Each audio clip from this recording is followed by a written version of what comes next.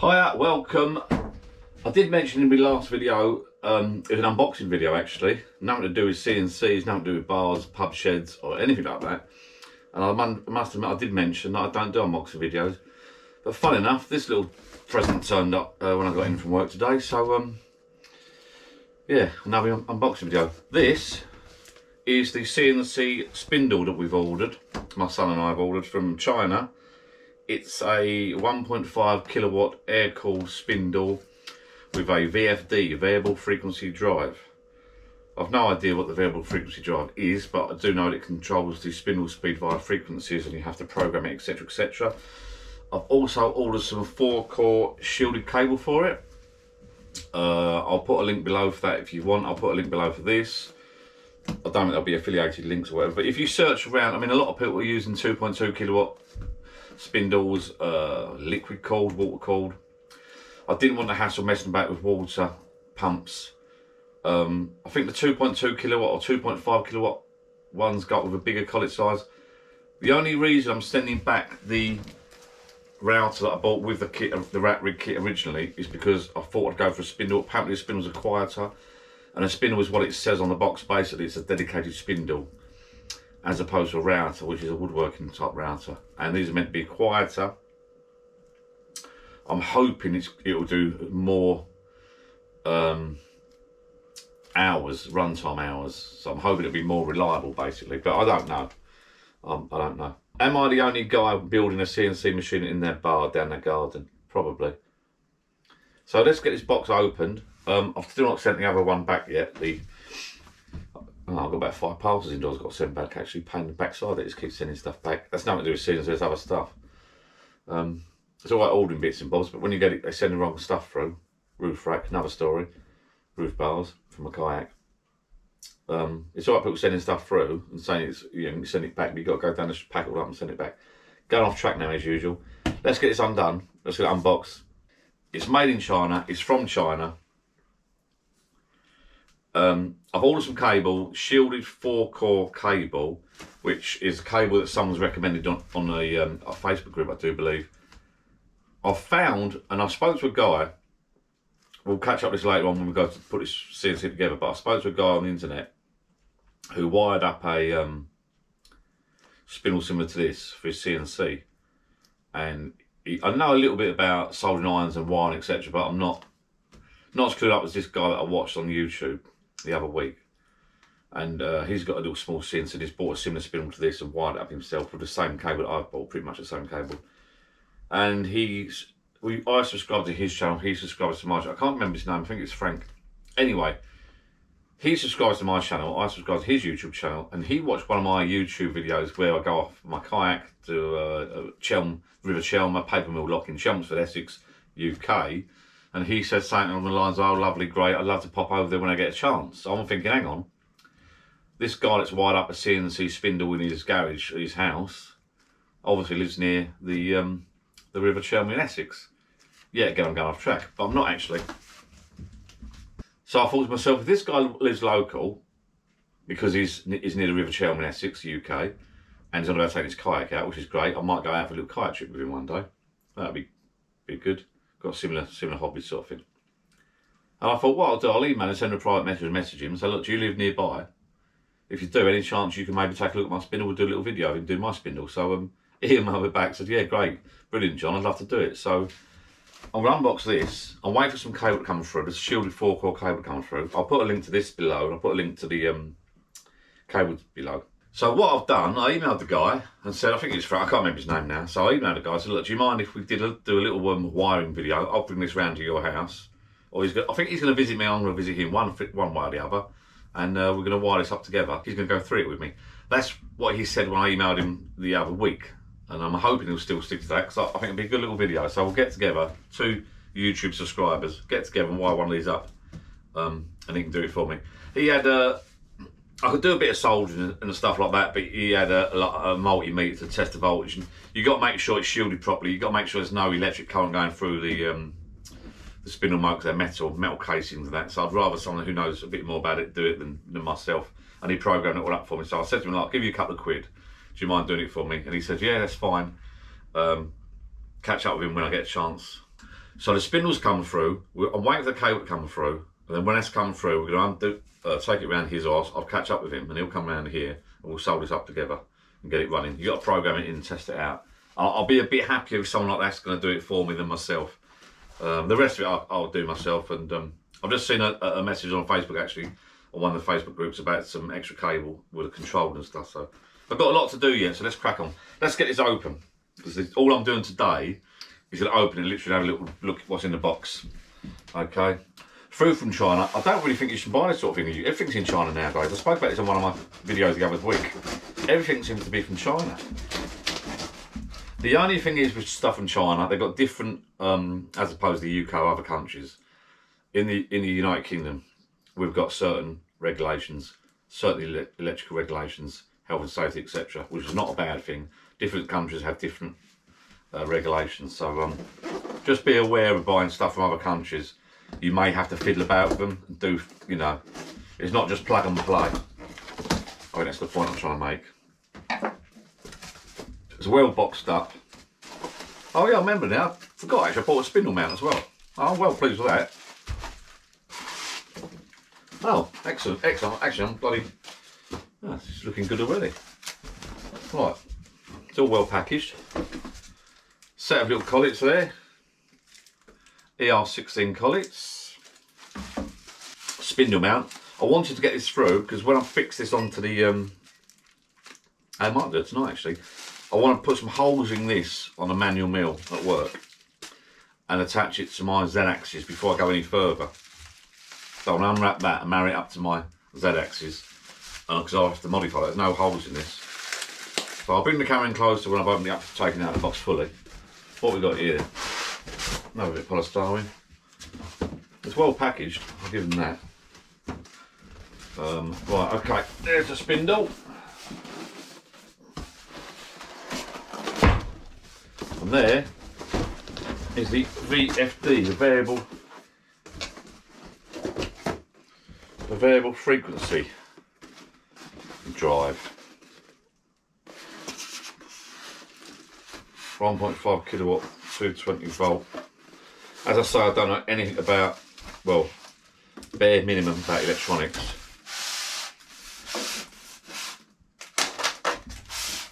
It's quite well packaged, so it's just What I'll do, I'll bring the camera a little bit closer and have a little zoom up on this, I think. Right, first off, let's open the little um, box of collets. It should be, hopefully, ER16. ER16 size 1, 1 mil collet, 2 mil, 3 mil, 4 mil, 5 mil, one eighth, 10 mil. So it's, it's 1 mil to 10 mil plus an eighth. So let's just check what these are like first. This is why I wanted this, uh, it's quite a standard size collet the ER16. There you go. All packaged up nicely and greased up. So, little packet of collets. It's taking longer to build than I thought this uh, machine, I must admit, because that's basically due to the time, my time doing other bits and pieces. So,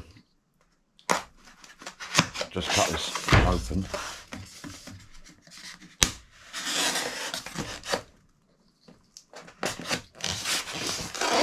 and I'm a bit limited for space in here. That should just open, ah there you go. Wow, that's um, that's a big lump. Another collet woody spindle. There's the plug. This is the bit I want the, the YouTuber to do for me. Because you need to shield it all. You need to shield the, the outer casing of that really. So um, that needs to all be shielded, I think. And then obviously, I'll put that back a minute. Put that collet back. This is a spindle. That's a, that's a bit of a lump. Look, a bit more uh, heavier duty than a, a router. Not sure it's a good one or feels all right. I've got collet in there as well. Look. No spanners, but um, so you've got no spanners with it. There's a bit of bloody rust on there really, but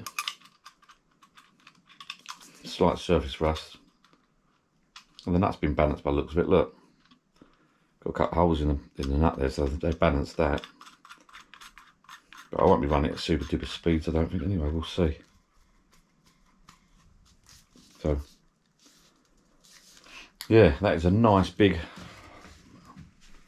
nice big lump of a spindle. But like I said, this all needs shielding. That all needs to be earthed and grounded.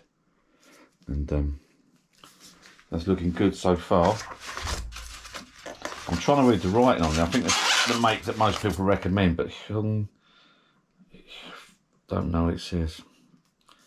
80 mil diameter spindle, 200 to 1.5 kilowatt, 220 volts, 8 amps, 400 hertz. That's 80 mil diameter.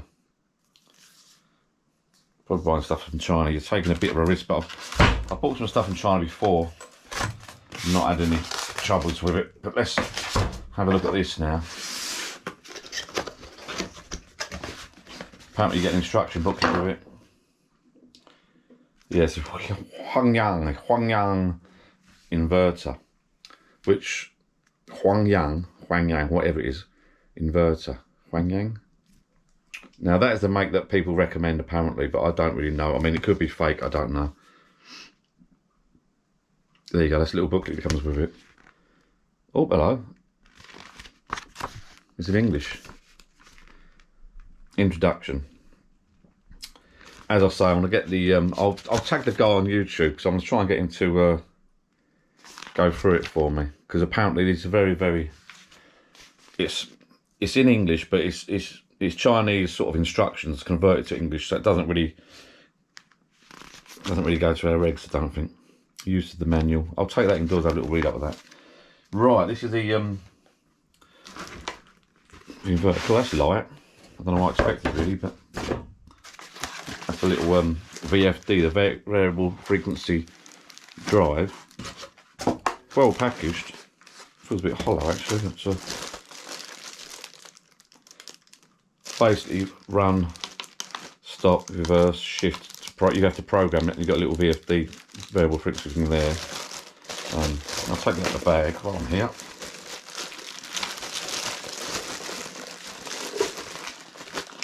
Feels very plasticky. That's probably because it's made of made of plastic.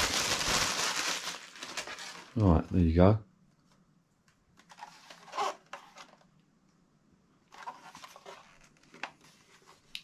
Yeah, I don't know the quality of these or not to be honest with you. Like I say, it's made in China, but what sort of standards? What sort of standards are they made to? You've got a little controller there.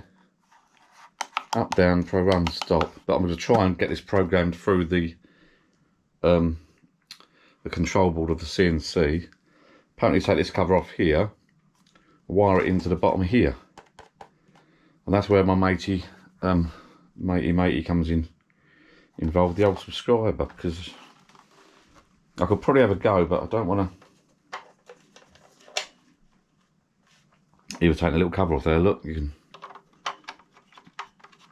get access to the fan, but I suppose that cover is for um do you put a you can lift that up. You can take that cover off. It's got a fan there look. Which is removable for some reason. Oh you got a fan there and um cooling things at the back there and a fan sits on top. Well, I can imagine you could put a little bit of um filter over the top of that, which wouldn't be a bad idea. Foam filter, which normal machines have, sort the old dust. Can we get it in there? Get us back in there. Right, it's all looking good. So I'll be getting in contact with Matey, and I'll put his link below, and um, see if he can do it for me. Have a little chat with him. I think this comes off. Oh, yeah, that comes off as well. A bit of hot glue on the back there. Yeah, this comes out. Don't ask me why. I don't know if you can extend it or what. You unplug it, but why do you want to take that out? I do not know. I don't break it.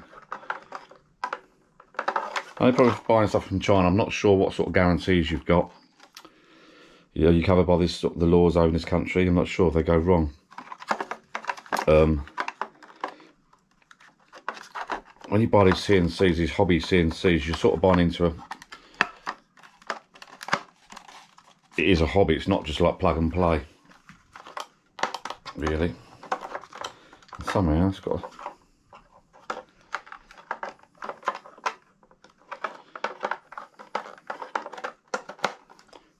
That's it. That clips. That clips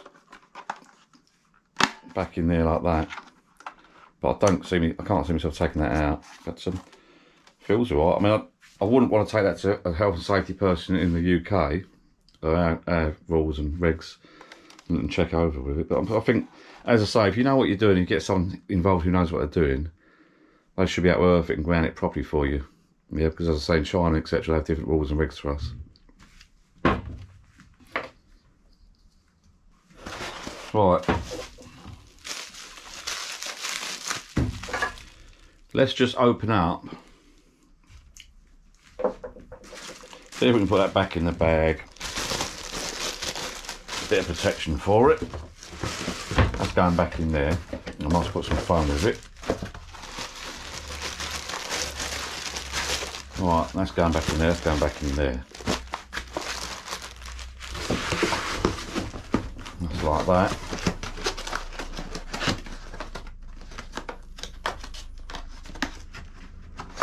That's that, that's the spindle.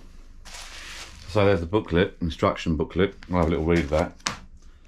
I'm just going to take this apart and do the spindle mount. I bought that extra. Or I can't remember if it comes as a bundle. But um,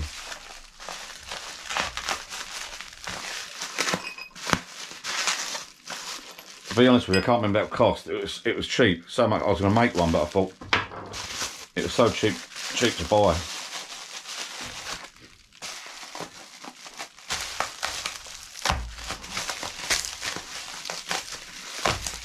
And what I like about what I like about it's only a bit rough and ready. There you go. The big old mount that. What I like about these mounts is the depth of it. You got that depth there. So that will hold the spindle. Once you've clocked it up, that'll hold the spindle nice and straight as opposed to small mounts you get. So that'll hold the spindle nice and straight. You got a cap head bolt there. So you got oh, bolt goes two bolts going there to clamp it up. I think it's cast. So you got put two bolts, two bolts in there, clamp it up. This bolt here jacks it open because there's no hole there. I do, I do believe. Is that right? Yeah, I think so.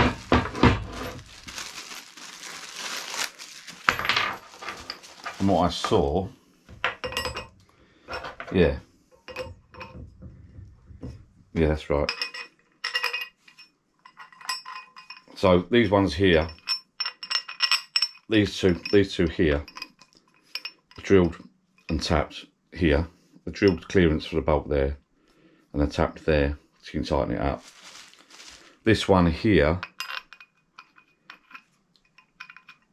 oh, that's, the thread's a bit crap, but um, this one here has been tapped here. The idea is you screw that down, it jacks, it jacks this open for the spindle to fit into once you jacket it open and put your spindle in, then you do up your two there to clamp it. So just so you're aware, this is my, uh, the Y, no, this is the X, this will be the X rail, with this running up and down the X, like so, like that. This will be the Z, this is the Z, which if I can just mount that now, move that spindle now, with a stepper motor on the back of the Z there. So this is the Z. Now what I originally bought was a small mount that goes there with a small router that goes there. Now I've gone a bit beefier. I bought the 80 millimeter, a 1.5 kilowatt motor, spindle motor with an 80 millimeter outside diameter casing. Now this is the mounting that I bought for it. The reason, as I said earlier, I bought this mismount is, is the depth here, the thickness of it. So it'll hold the spindle nice and top tight and once that's clocked up uh, straight and parallel that should hold that nice and sort of no no flexibility. Now the plan is now obviously you can see that's too wide for this plate. It needs to bolt to this plate here this c-section extrusion or this extrusion. I think it's c-section here so it needs this mount needs to bolt to this plate. What i plan to do is make a plate up the size of this. Uh, hole, two holes in it, four holes, sorry, two there, two there, and use some um, the pullback type washer things that you get with a kit. So I'll put a plate, a plate on here, fixed onto here. Then I want to put two four holes in here, two holes in there, two holes in there, and I'm gonna put cap heads through to the mounting plate. So it's a little project for me to um, do spare time. So I need to get a pitch from there to there, pitch from there to there. Um, yeah, a, a plate that size, aluminium plate. I think that's what I'll do. As I say, I can't bolt that straight to there. It'll be, you know, you can't bolt it there. You can't bolt it offset. So it needs a mounting, a sub, a sub plate, a sub plate almost underneath this. So that'll be sitting on there like that. I think that'll work. Yeah, sub plate. So alley plate, alley should be fine. Alley plate under that, same size as this. Drilled and tapped to accept some holes through this. That'll bolt on, and then some holes for that. That's the plan. I'll show you that in my next video because that's a little project for me over the next couple of days, I think. Right, so I hope you've enjoyed that small unboxing video. Um, that's the plan now. So I've unboxed it. I've shown you the spin. I've shown you the VFD, the variable frequency drive. I've spoke about the guy who's going to hopefully wire it up for me. If not, to have to try and a little go myself. We'll see. Cable's coming through the post very soon. I've ordered it the other day. As I say, this is my uh, X and Z, or Z if you're in America or Canada. This is my Z axis. This is a spindle mount which is going to go on top with a spindle inside. So next job is to make a plate for that, as I said a minute ago, make a plate for the same size as this, drill and tap that through, drill, drill clearance holes through, bolt it to a plate, and that plate will have four holes here, which will fix onto there. So I'm just to have a little measure up now and um, crack on with that in my spare time. So the next video you'll see, hopefully I have a plate made up, bolt to this, I'll get the table surface done, I think. Get the table surface, finish the table off, get the surface, uh, the MDF bolted up on top of the table. MDF bolted up on top of the table. I'm thinking now. Yeah, get the spindle mounted onto that. And get me mate round or the YouTube subscriber. I'm going to go to his place or he's going to come to this place, hit this place, and we'll do a little bit of soldering and uh, we'll try and video that together and program it up. Um, could do that at a later date actually, thinking about it. I'll build it up first and then give him a shout, I think. So that sounds like a plan to me. Thank you for watching this video. Please like, subscribe, click the little notification bell below um, if you're interested in the kayaking, fishing, uh, CNC work, pub sheds, bar signs. This little machine, I'm hopefully going to start knocking out a few little bar signs for people, for you, my subscribers. Um, we've got a Facebook channel, Life of John Facebook channel. If you fancy popping over that for a chat, uh, I do do some lives every now and again. Got nothing to do with the CNCs actually. We do some um, YouTube lives on a Friday. If I'm not available, a couple of guys there, God bless them, they do some um, Facebook uh, rooms where you can have a little private chat in these rooms. That's always quite fun. We normally have a few beers together in the chat. But uh, you, we talk all things um, pub sheds, bars, kayaking, fishing, and uh, might even drag a bit of CNC into it now. And uh, yeah, a few guys I've become quite friendly with. So I think they're um, waiting on me to do a few little pub signs for them. So I'm going to do some uh, designs on my software, Vectric software I think I'm going to use, and uh, hope to get this up and running as soon as possible, knock out some signs. As I said, please, please like, subscribe. A few comments below makes it all worthwhile, yeah? It keeps me um, ticking over, if you like. Till next time, thank you for watching. Bye-bye.